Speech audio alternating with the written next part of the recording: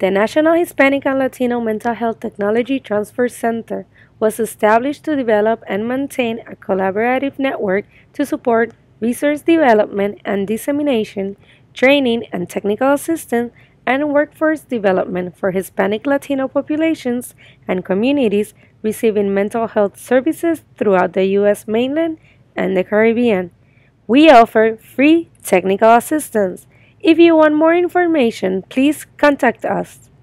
The National Hispanic and Latino MHTTC is under the direction of the Institute for Research, Education and Services in Addiction, IRESA, and housed at the Universidad Central del Caribe School of Medicine in Puerto Rico, and supported by the Substance Abuse and Mental Health Services Administration, SAMHSA, of the U.S. Department of Health and Human Services.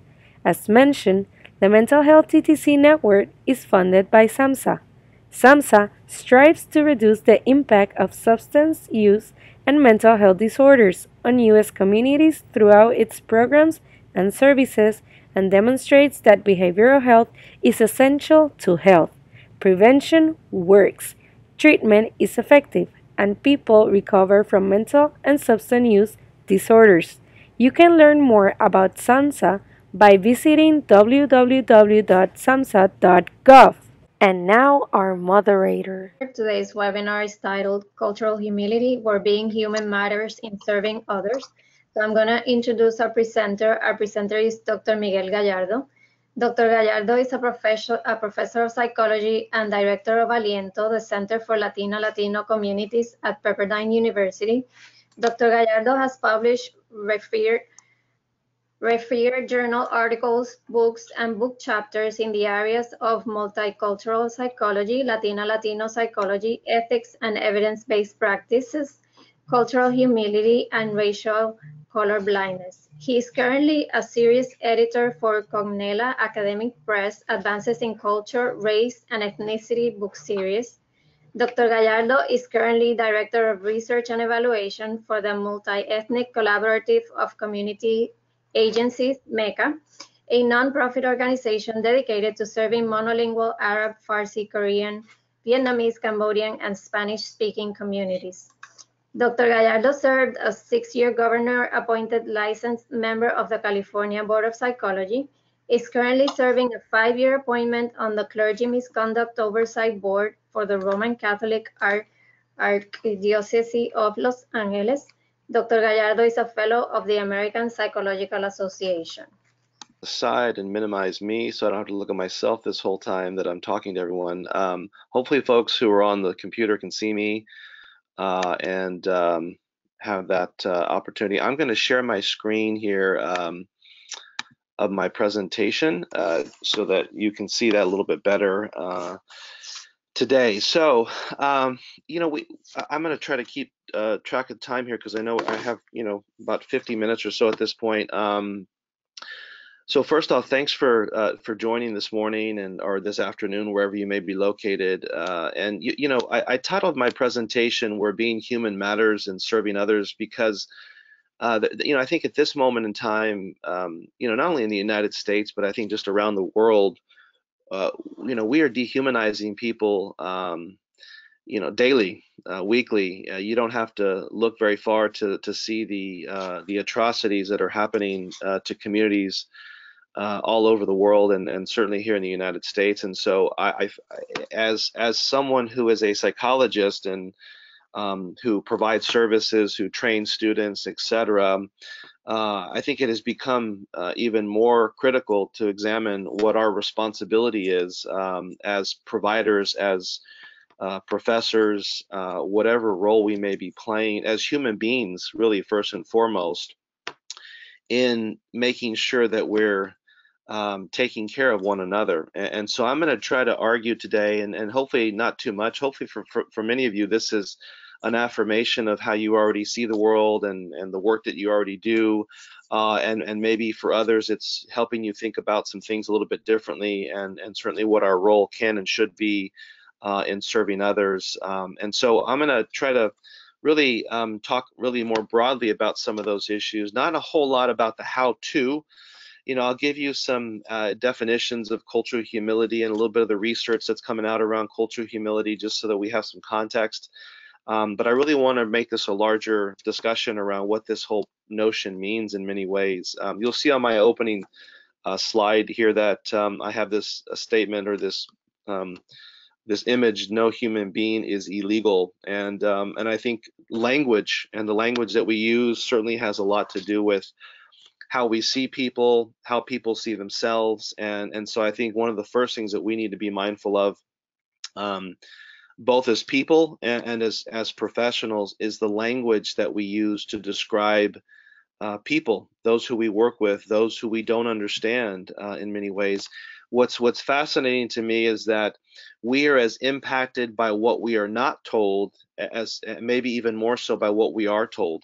Uh, and so th there therein lies some of I think our challenge uh, and in terms of really uh, starting to examine um, our own process, if you will, in in trying to um, implement what this whole notion of cultural humility means.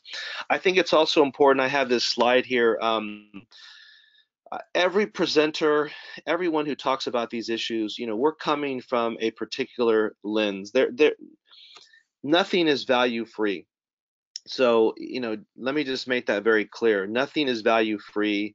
Everything is value laden. And certainly how I'm talking about these issues today are, are, are, are driven and derived from my own values, which are impacted by all these different social identities that you see here uh, about who I am. Uh, I think, uh, you know, I have this in the, in the middle here, what I see could be me. Um, and, and I think that really reflects this notion of seeing our connectedness and my value and seeing connectedness across human beings and myself and others, no matter who we are and where we come from. Uh, I'm I, Catholicism uh, in many ways provides a, a, foundation for you know who I am and, and sort of how I see the world. Um, uh, a husband, a father, a son, being privileged in many ways also impacts um, you know how I see the world. I'm certainly more privileged today than I ever have been in my life, and that impacts um, the the the freedom and the luxury in which I have to either see these issues or um, you know not see these issues uh, on some level. I do not have to worry um, you know on a daily basis if my uh, my spouse um, or my uh, my parents or my in-laws are going to be deported or going to be um, you know um, sent back to our countries of origin if you will and that's a privilege whereas many of the folks that I work with um, in many ways do not do not have that luxury uh, in fact there have been people that I have served clinically over the past several years uh, and some of them have unfortunately within the past year or so uh, have been deported. And so the impact that that has on families uh, and, and, and the individuals is profound. And that is something that I personally don't have to contend with on a daily basis that's so close to me. And so that's a privilege. Uh, I have many privileges. Uh, Mex I'm Mexican American. Uh, I'm, I'm, heterosexual. I'm an oppressor.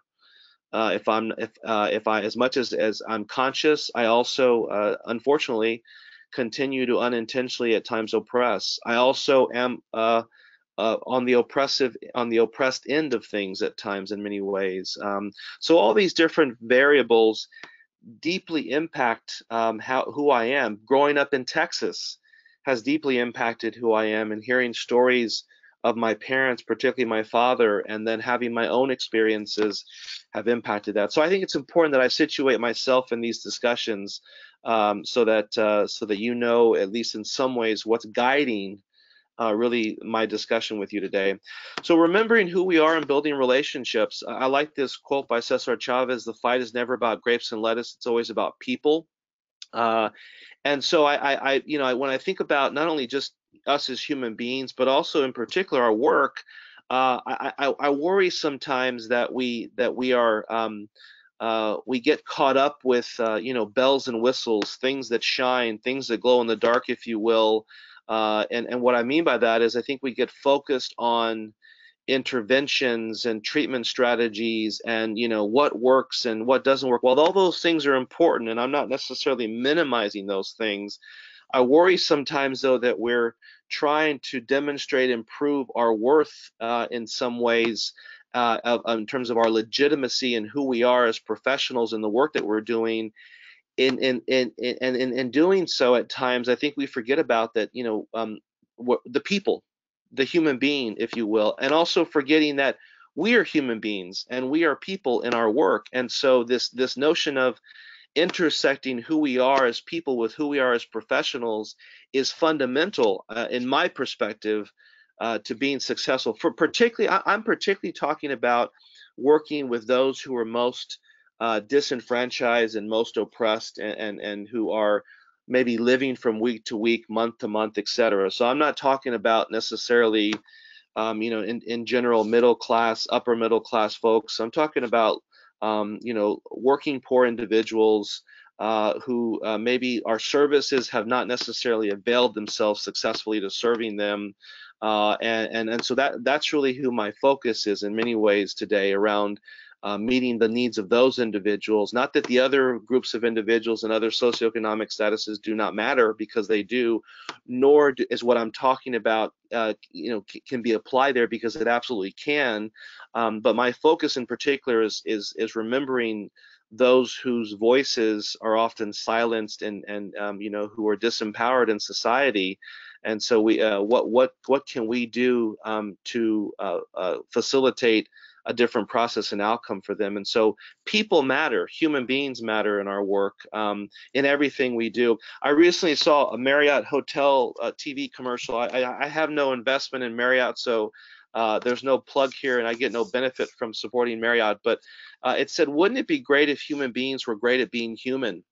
And it, it was profound because I, I, I feel like um, I, I, see uh, while I see some of that happening today in ways that it have it has not happened in the past. I also worry that you know, as I mentioned earlier, that we're dehumanizing people, uh, and and uh, and in doing so. Um, uh, you know, invalidating the very existence of, of who people are. And so, you know, Isaac Prilleltensky has argued that Wellness cannot flourish in the absence of justice, and justice is devoid of meaning in the absence of wellness. And so it really begs the question, you know, to what degree are we helping people through solely intervene on an individual level while knowing that many of the issues clients bring to our offices or community uh, contexts, wherever it may be, are situated and layered within those communities and contexts. In essence, socially derived, socially produced uh, if you will, and and I'll come back to that in just a minute. So I, I, think we have to. It's not that individual services are not effective and and and, and that we shouldn't provide those. I provide individual services. Um, you know, every week I provide individual services. Every week I'm also doing community-based services. But even when I'm providing individual services, the context and the community in which the individual exists in and resides in and is situated in is located in absolutely matters in in the work that I'm doing. Uh, and so to remove them from that or to um, to to not include that in my work in some fundamental critical way, I think is a disservice not only to that individual but also to the to me as, and the work that I'm doing. There's a book that came out not too long ago, a, a New York Times bestseller um, by Sebastian Junger, um, and it's called Tribe on Homecoming and Belonging. I liked the book. It's a short read quick read actually. So if you've not read it, I, I would highly encourage you picking up a copy to take a look at that. Um, but but he essentially is just reminding us, you know, uh, you know, for thousands of years, you know, he he reminds us that humans lived and worked side by side, sharing resources, and really in many ways protecting one another. Um, and what he what he states in his book is this: there's this irony in you know the more affluence that we have as a society, which does bring uh, certainly other resources like safety and stability, uh, still leaves a lot of those individuals in those communities with poor psychological health. We have we know from psychological research that as wealth goes up, suicide and depression rates tend to also rise. Uh, he cited this study on uh, that examined urban North American women and rural Nigerian women, and found that the suicide rates were highest in the wealthiest of those wealthiest of those communities, which were the urban North American women. Actually, uh, he he you know he stated that in the study stated that the, the the more the lower resource, the poorer the society was, the more collaborative the society needed to be uh, to be of the benefit of its survival. I always remember my father telling me, um, you know, growing up uh, with very little, and he says, you know, I didn't even know we were poor until someone told me we were poor, uh, and I think that really is such a, a, a um, a critical, fundamental, powerful statement in many ways to, for us to be thinking about in terms of our work because um, that this th there's something sometimes the happiest times uh, uh, uh, uh, for some of our communities and family members is not necessarily tied to having more money well that's important and more resources but the, but but to, to assume that um, because people are low resourced does not mean they don't have strengths and resilience and resources I think is is quite um, uh, uh, um, is quite a, a, misinformation for us to, to to internalize and to be thinking about. It's quite the opposite, actually. I would say certainly we need to increase access and resources, et cetera, to communities. But um, communities, just because uh, they may be on the lower socioeconomic spectrum of the uh, socioeconomic status um, uh, continuum, uh, does not mean that they don't have uh, strengths and, and resilience and, and that there's not a benefit uh, in, in, inherent within their communities. I think you know our narrative somehow seems seems to paint a different picture, and I worry because those communities are more vulnerable and more accessible to the to the the outside observer, whereas communities of wealth and affluence are metaphorically, symbolically, and literally even more closed in protected behind walls, behind gates, etc. Uh, that we're not seeing the issues there when the issues certainly lie there um, uh, to a, maybe even to a larger degree than maybe we think they do in other communities. So I think we have to shift and continue to shift that that, that process. I, I worry when when providers um, both of services or even in faculty tell me that our involvement in social issues, those social issues, is not our place. Um, you know, I, I would even say that that these are not, you know, these are not. Uh, I think when we start talking about social justice, people start to, you know, they worry in, in some ways, or they they they they're not sure what to make of that. These, these are just human human rights, uh, human issues, if you will, that that pertain to um, the work that we do and who we are as people. Uh, and so to assume that our connection to and our involvement in those processes um, is is not our responsibility. I think is a disservice. Uh, Aristotle, um, you know, believed that humans were political or that we we're political animals. One interpretation of that that that statement and, and that comment is this that this notion that it, it is impossible for us to remove ourselves from the context in which we find ourselves. So when I say when, when I think my interpretation of Aristotle's being, us being political animals as human beings is this notion that um, I'm not talking about whether you're Democrat, whether you're Republican, Independent, you know, whether you're out marching on the streets, etc. I'm talking about recognizing who we are in the context of of where we find ourselves and how that may be impacting us and certainly impacting those who we are serving.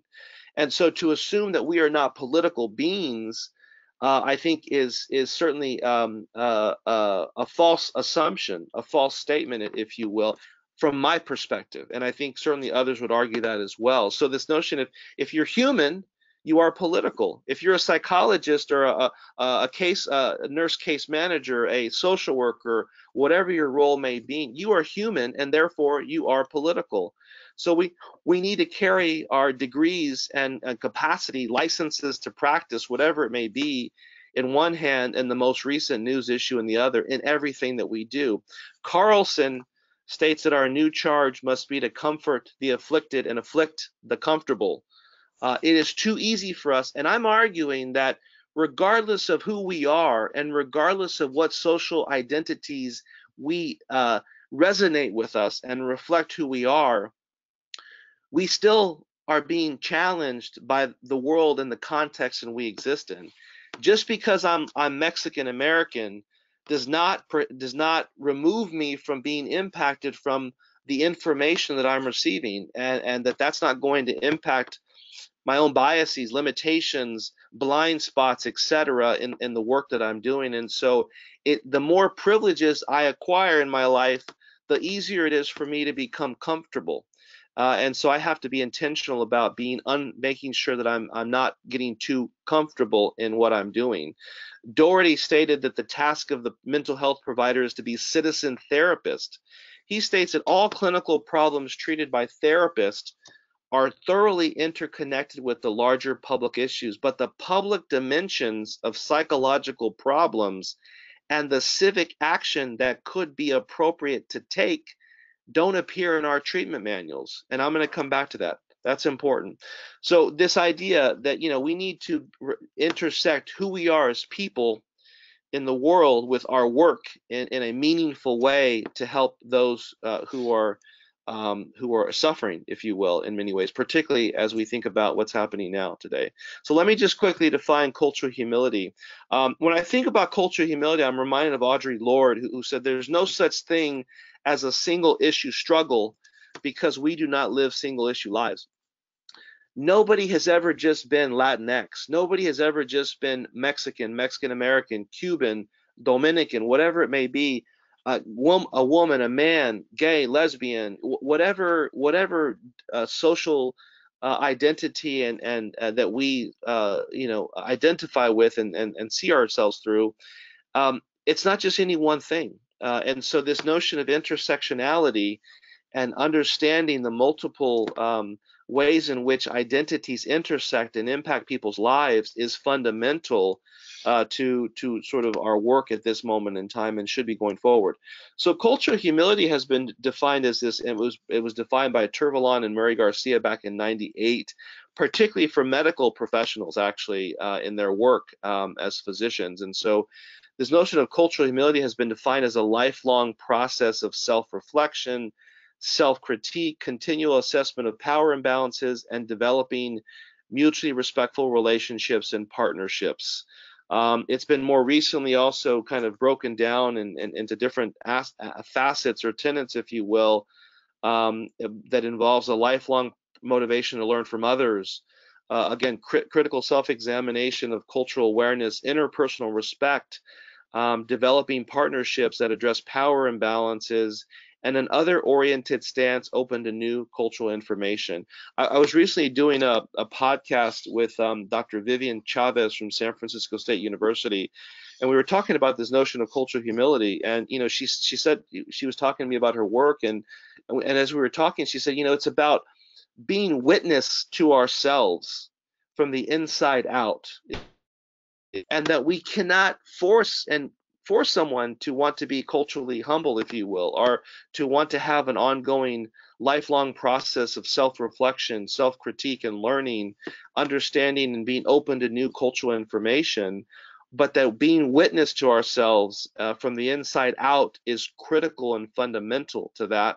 Um, and in some ways having exposing aspects of ourselves that maybe make us vulnerable in the work that we're doing. Um, and, and, that's important i think when we think about serving uh, those who are um, uh, most uh, unserved if you will so, you know, some of the research, just briefly, there, there's certainly more research coming out. I think one of the critiques around cultural responsiveness, cultural competence, cultural humility, all these different concepts that we talk about, which certainly intersect and have, I think, overlaps in, in some aspects of their definitions um, from one to the other.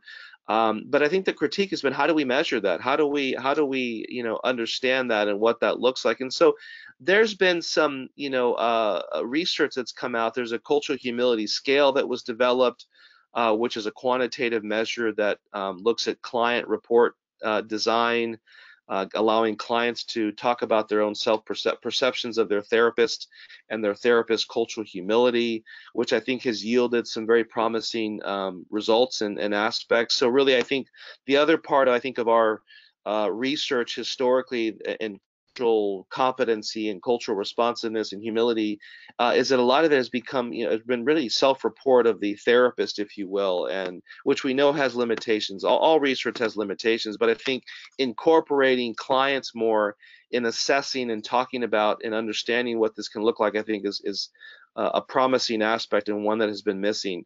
In all this, and some of this more research that has come out recently um, certainly it has demonstrated that that you know the more we as therapists are implementing what what clients perceive to be as culturally uh, humble uh, you know practices uh, has been found to be associated with stronger therapeutic alliances um, in our in our in our work, and also maybe an increase in in um, outcomes in therapy.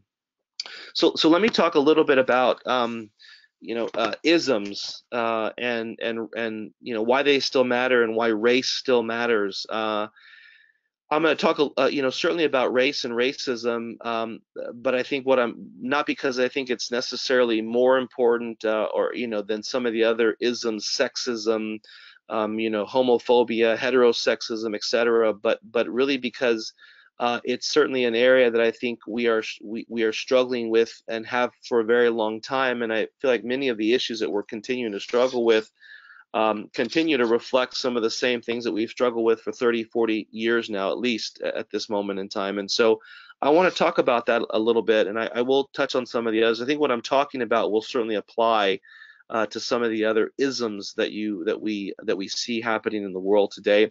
I, think this is important because I'm really trying to again go back to helping us witness ourselves from the inside out. So where are we today? Well, if we think about where we are today, um, you know, uh, you know, I love this the, the the picture on the right, the time issue uh, of, you know, uh, the United States in 1968 slashed out 2015, and then we have the uh, time, uh, uh, you know, cover on the left, Black Lives Matter, um, and, and, so I think, you know, that really I think captures in many ways and juxtaposes these two images side by side, but also the issues that we're facing.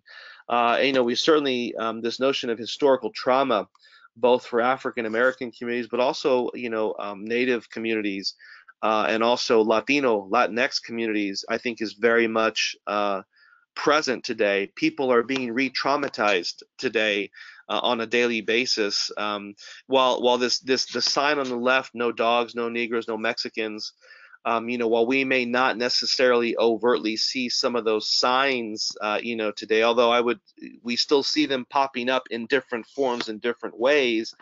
The fundamental um, mentality and ideology continue to exist in many ways. And then we have the, you know, the illegal immigrant hunting permit um, on the right hand side. And, uh, you know, again, trauma, triggering, re-triggering, um, you know, trauma, traumas in our lives, if you will. And so these are these these are certainly, I think, um, worldviews that we have seen today um, happening. People always ask me when I do presentations, like if, you know, um, you know, when Trump goes away or Trump is, you know, um, no longer president of the United States, you know, do I think you know do I think he's the issue and are things well you know the, the reality is is that you know we were not living in, in you know euphoria before Trump uh, we, you know the life was not necessarily um, you know um, roses and you know um, lollipops and whatever you know I mean it, we did we were not you know uh, the world was still in, in struggle you know is is our current administration helping the situation absolutely not uh, are things becoming more challenging? Absolutely. Are people, you know, feeling like they have permission to uh, engage in ways that that they haven't historically? Uh, absolutely. And so, uh, I certainly think we are seeing things today in ways that we haven't before. Um, but these issues have been present in many ways. Um, what are the implications of one fully expressing themselves or our beliefs, if you will? Um, and and and and what what does that mean? And, and how does that you know um, how do we respond to those issues when they come up and or support or stay on the sidelines and not say anything um, for fear of what that may mean uh, in terms of our own process and our own selves. So what, what what does it look like to be traumatized and re-traumatized? Well, I mean, you know, just some brief examples. You know, we have the hashtag Me Too movement, and you know, um, a few quotes here uh, around you know uh, women's experiences of of that these things, these issues, dehumanizing, sexual objectification. Uh, uh, vi boundary violations have existed generations uh, and you know and so this is not a new issue. Uh, it's certainly one that i think is getting some uh, time and attention in a way that maybe it hasn't in a while and i'm, I'm happy about that but it doesn't necessarily mean that this is new. Um, but it's it's an issue that is traumatizing and re-traumatizing uh, to women.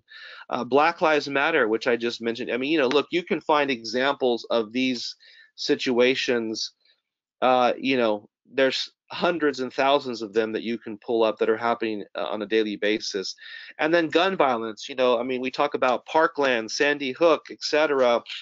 You know, I, I and, and I always I always, you know, I want to be very mindful when I talk about this and respectful. Anytime we lose a life, I don't care what the background is of the individual, white, rich, uh, whatever it is, uh, brown, black, not rich, what it it's a travesty. It, it's a it's a it's a it's a it, it impacts us as human beings regardless of who the individual is. So so it's not that I don't see that we need to be responding to these types of uh, issues that are happening with regards to gun violence and some of the settings in which they've occurred. But my concern is is that in communities of color, routine gun violence, uh, I mean, uh, gun violence is happening disproportionately on a daily basis, weekly basis. In fact, at the March for Our Lives um, uh, event that happened in DC, I remember listening to Edna Chavez, who's from here in LA and South Central, and she made this very profound statement. She said she learned to dodge bullets before she learned how to read a book. and so, you know, so when I think about these messages, in some ways, we prioritize certain lives over others and and and and I think we are certainly seeing that in in ways um, in overt ways that we haven't before. Again, any loss of life is not is not okay, but I want to always try to try to try to kind of position these things. Why are we all of a sudden responding when these things are happening on a daily basis? Uh, and what are we doing about it? What role can we play as as as mental health individuals in addressing these issues.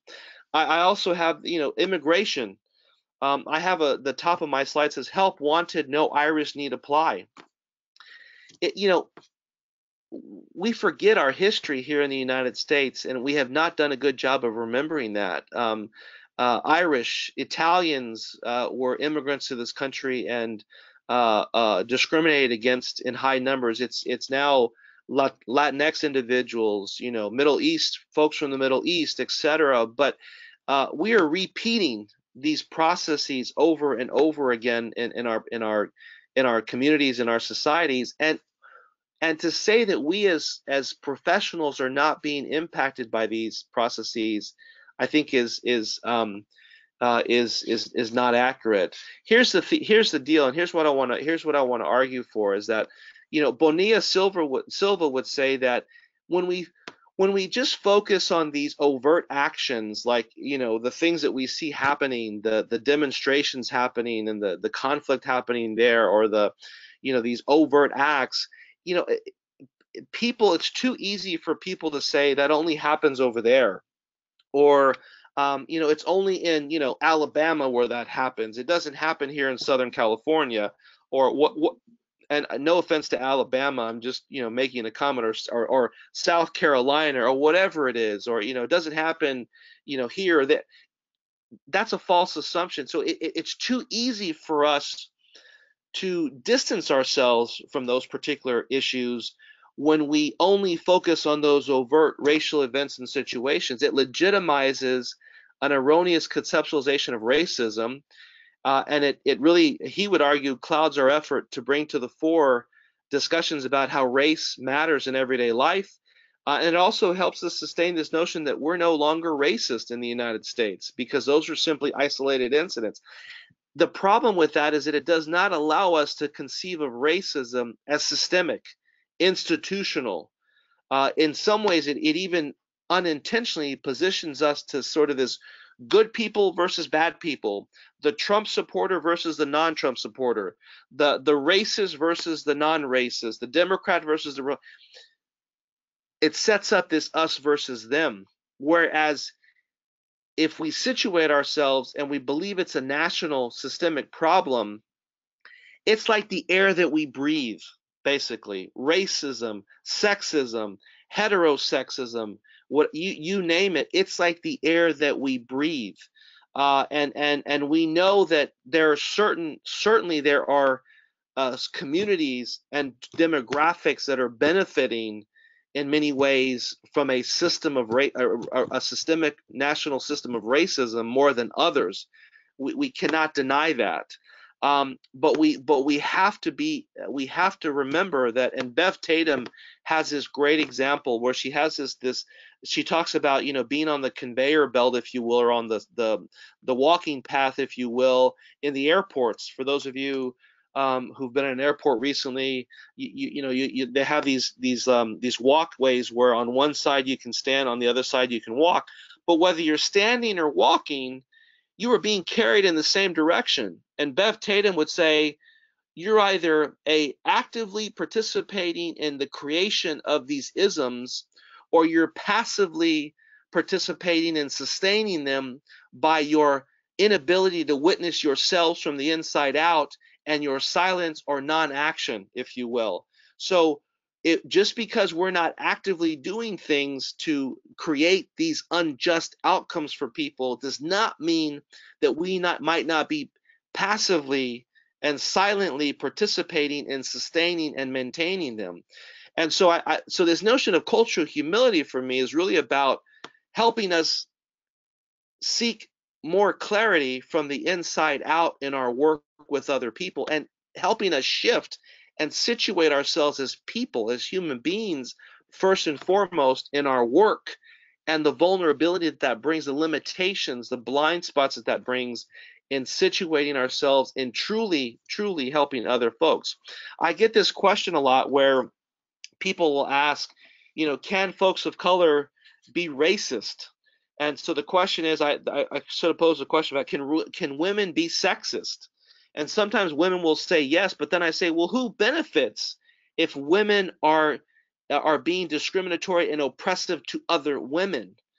And and inevitably it comes back to well, me, we as men are benefiting. So then, therefore, is it called sexism? If, if, if within the definition of sexism and racism, there's power and there's privilege inherent in those, then can women be sexist? Can people of color be racist to one another? And the argument would be no, because when people of color are killing each other, that is maintaining and sustaining the already existing power structure and hierarchy and status quo. When women are being discriminatory and oppressive to each other, the patriarchal system continues to sustain and maintain its status unblemished and full force. So so can we be prejudiced? Absolutely. Can women be prejudiced? Can can I as a Mexican American be prejudiced? Absolutely. Uh, but but but that's different from this notion of what racism and sexism sexism may be. so implicit bias. I just want to speak a few minutes around implicit bias because here's the thing people I, I you know sometimes i think people folks uh, folks from different backgrounds will say well you know look i i i mean i'm pretty conscious well, i'm conscious also but i want to i want to kind of remind us around this issue of implicit bias which are these these subtle cognitive processes in some ways that often operate below our even our awareness, conscious awareness, and without intentional control. So it's our bias, our biases, if you will, that we may not even be aware of at times or conscious of, yet they exist. They've done some neuroscience research looking at the medial prefrontal cortex and the amygdala. And, and, the we know that the, the medial prefrontal cortex activates when we see someone as highly human, Likewise, uh, it fails to activate, activate when we dehumanize someone. The amygdala is where our integrated center for emotions lie, emotional behavior, motivation. Studies have shown that the amygdala activates when we feel fear, threat, anxiety, distrust. They've done, they did a study at, at Princeton where they um, showed folks images uh, and of, of individuals and while they were showing them Im- images, they were uh, scanning their brains with a functional, through, through the process called the functional magnetic resonance imaging, fMRI.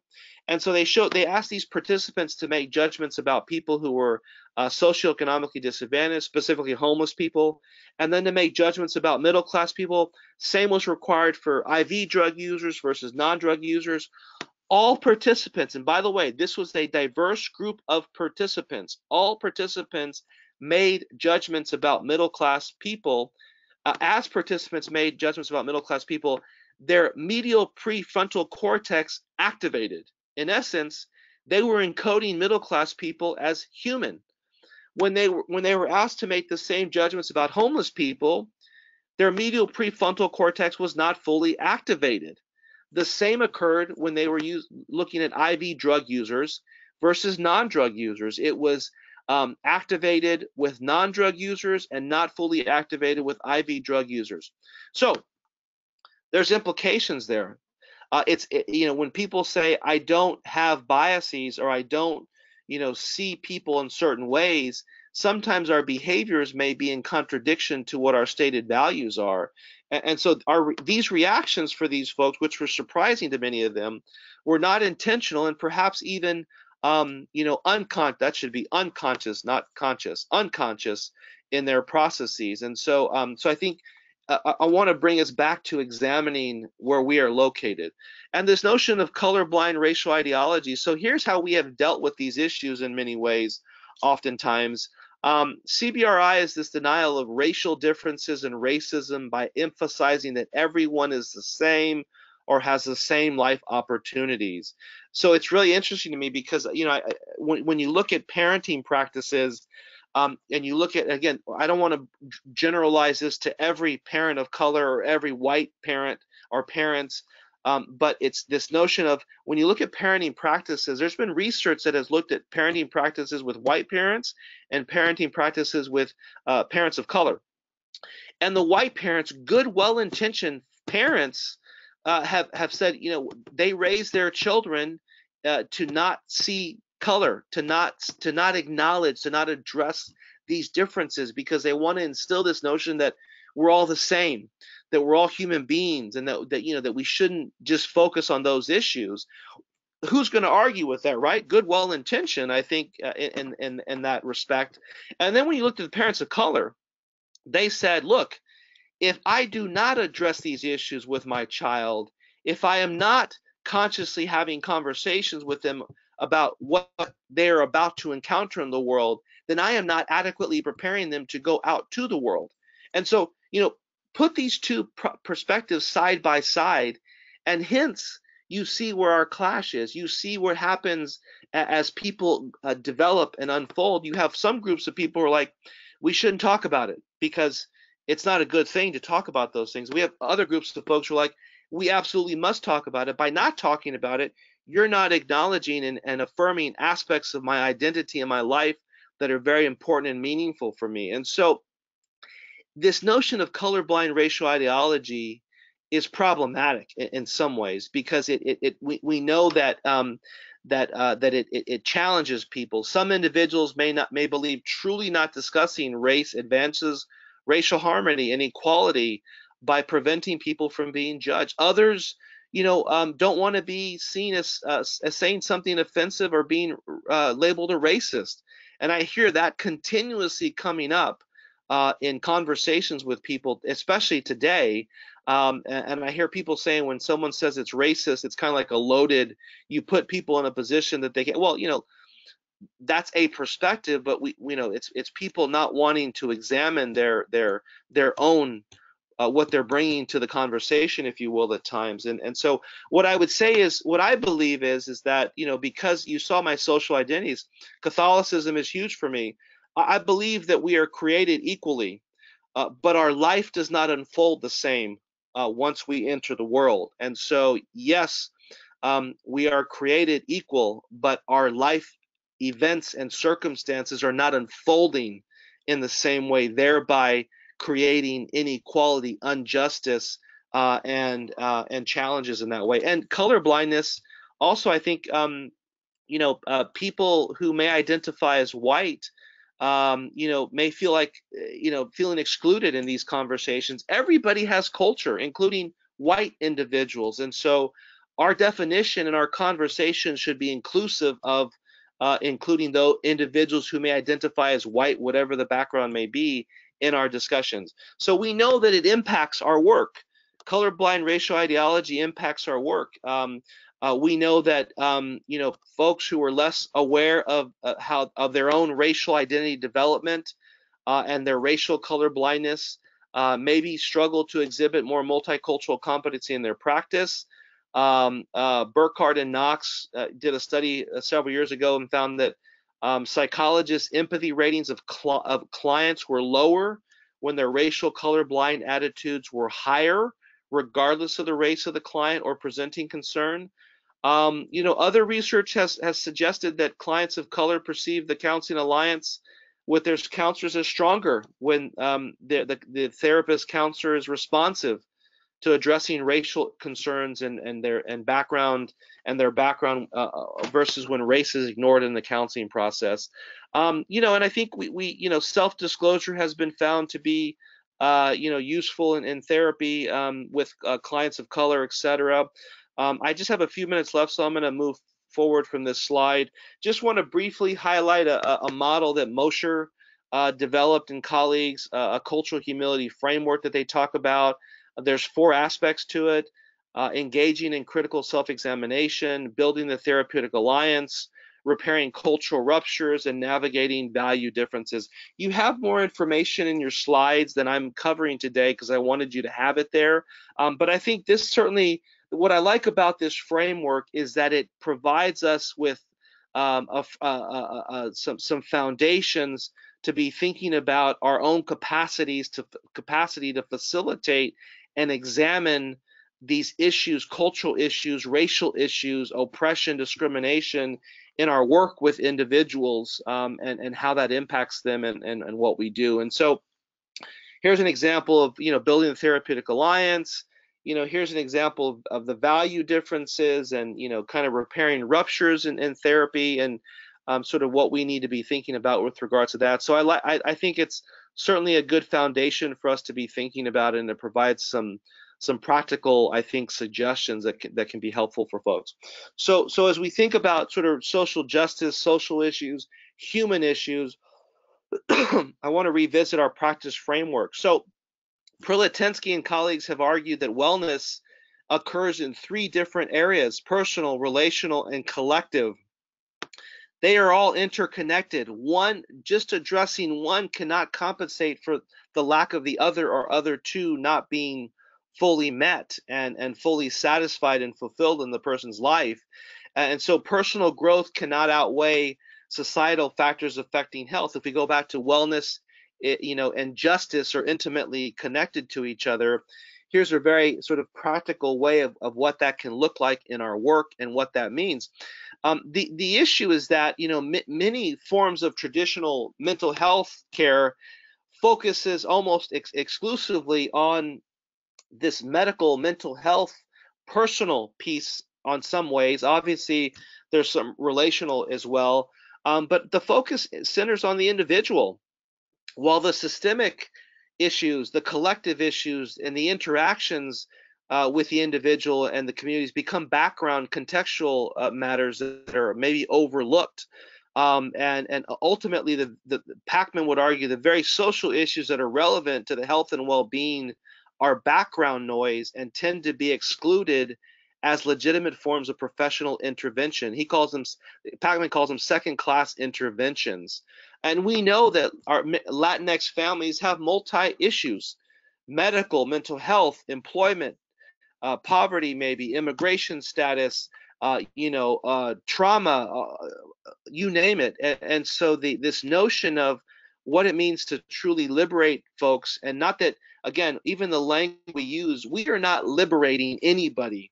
We are simply walking with folks um, along side by side uh, to help them negotiate, navigate, so that they can liberate themselves from the process. Uh, and so, you know, uh, this idea of uh, being a social justice practitioner, it's working, uh, you know, to develop collaborative relationships, to, to you know, address social societal trauma, power inequalities within the larger relationships within the larger society. Um, you know, how can we make healing and mental health services communities a process of liberation over a process of compliance to society's everyday oppressive practices. Uh, we, when we continue to reinforce this owners within the we are simultaneously supporting the reinforcement and ma of maintaining society's health status, status quo. That is that the problem is the evil. When we know that the problems for many of our community members are socially produced and socially derived, so then what is our responsibility to impact and to affect those societal larger contextual issues? Our healing process is now a community striving for healing versus one healer and one recipient. I have an example here of the cultural context model, which um, you have more information about. I'm not going to be able to go into that um, too in too much detail today.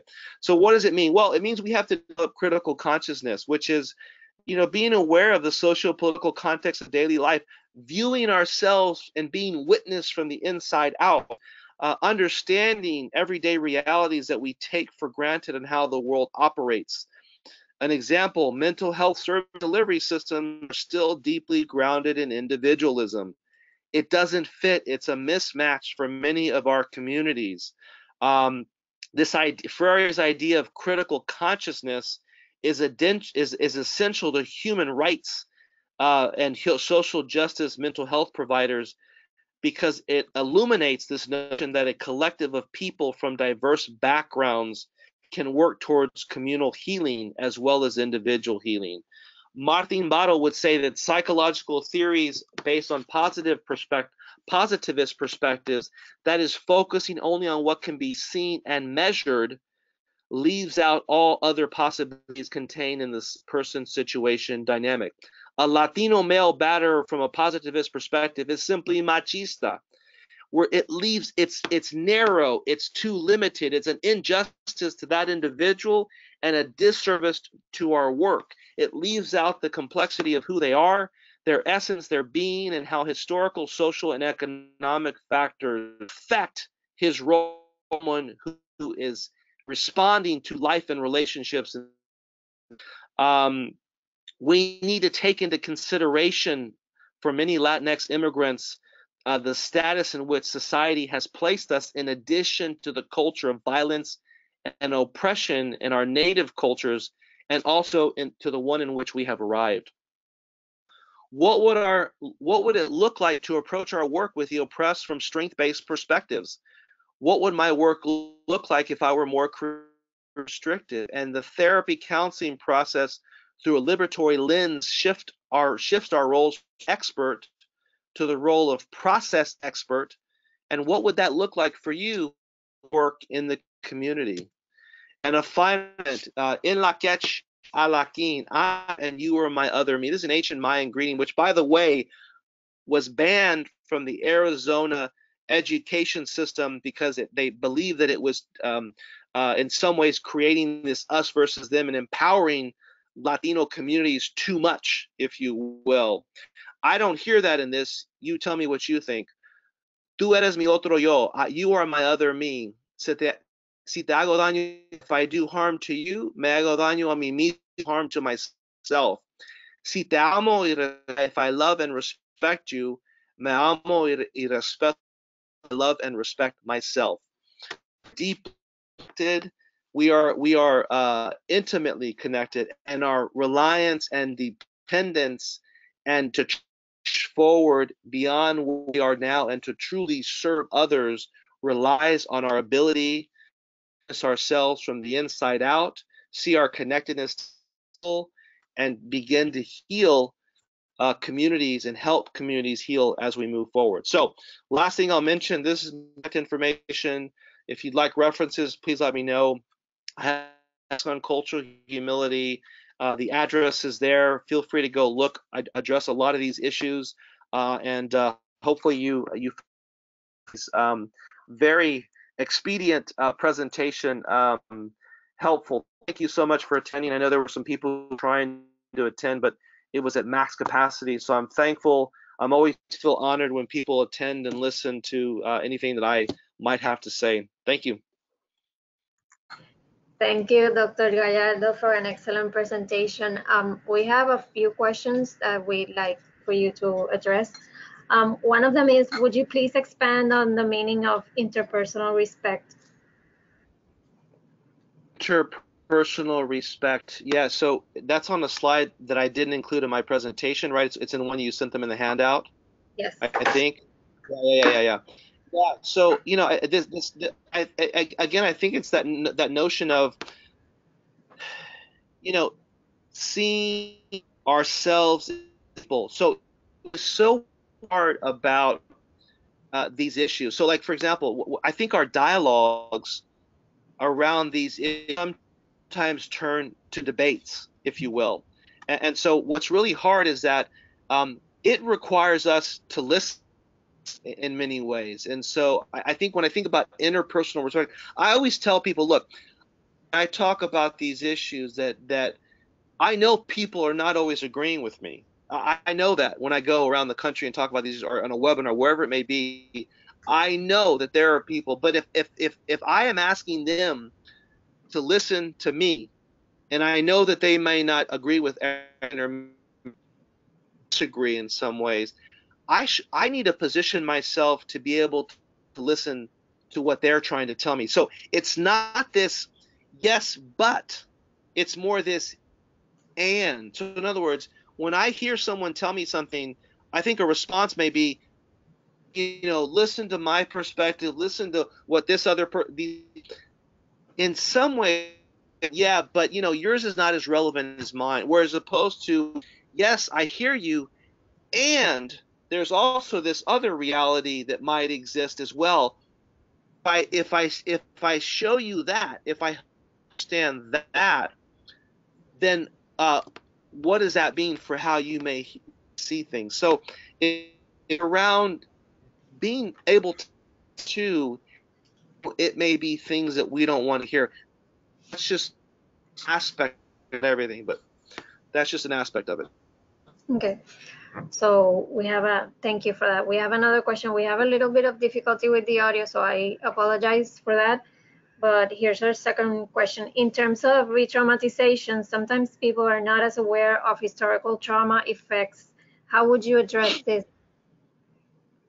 Uh, how would I address historical trauma in in people people yes. that yeah yeah yeah so um, I, I think part of it is also helping people understand how they have come to see the world in which they do. So this even this process of, of liberation psychology is really in some ways sort of facilitating a process by which we help people understand uh, the lens or the multiple lens in which they have come to understand themselves, their experiences, and, and also the context in which they find themselves, which which which sometimes you know uh, people may not have, have fully uh, necessarily in some ways.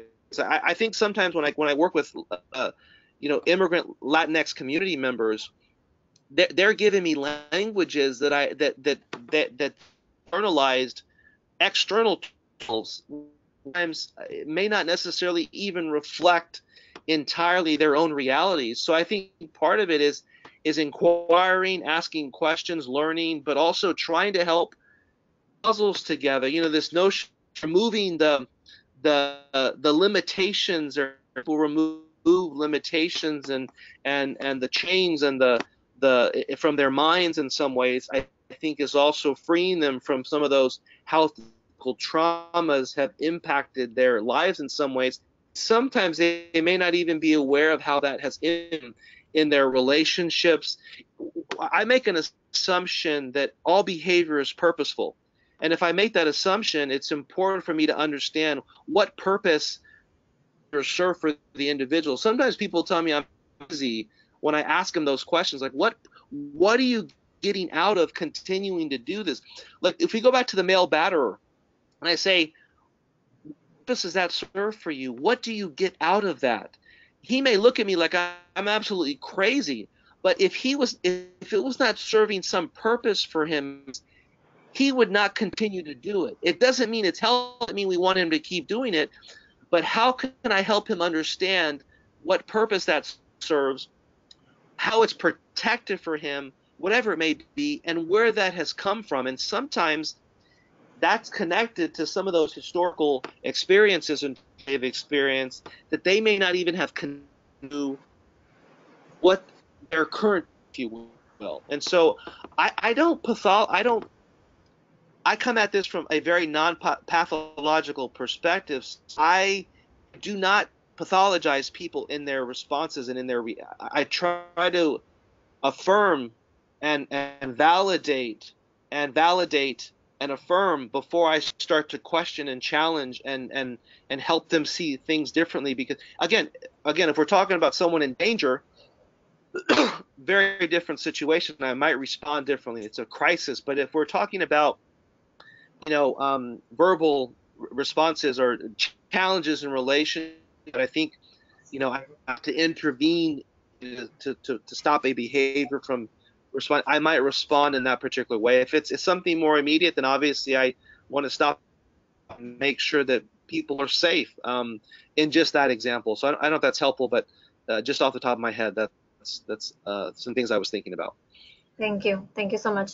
So Sure. we don't have time for more questions. We actually do have a few more um, that maybe email those to me if they want to. My email's on the last slide and i'm happy to respond okay or i can email them to you as well.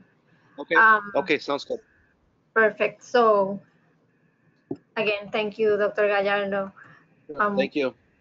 we truly appreciate you taking the time to do the webinar and also we appreciate our participants taking the time uh, to attend. As they leave the webinar today. As you leave the webinar today, you will be redirected to complete a brief survey.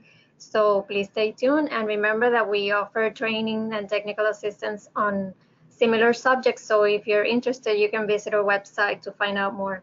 So thank you, everybody.